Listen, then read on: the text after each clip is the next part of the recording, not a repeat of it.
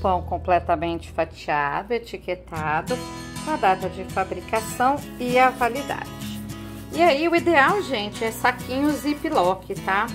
Eu não tenho hoje, então eu pus um saquinho desses próprios para alimento mesmo.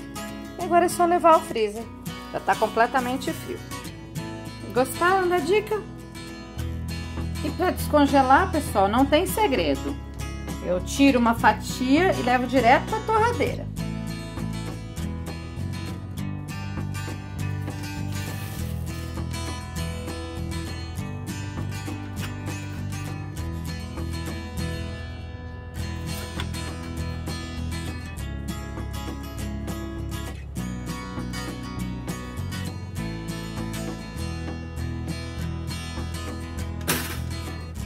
E aí, olha como já sai.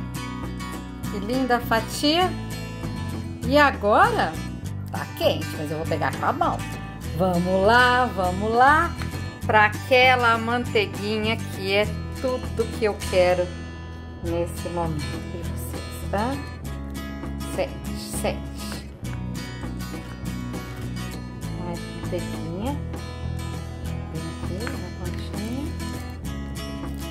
É isso aí, pessoal. Hum, ó, olha isso. Olha isso aqui, ó.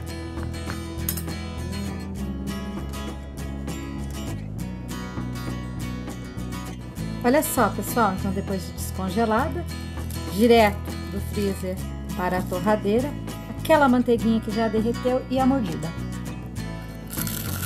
Hum, hum, hum.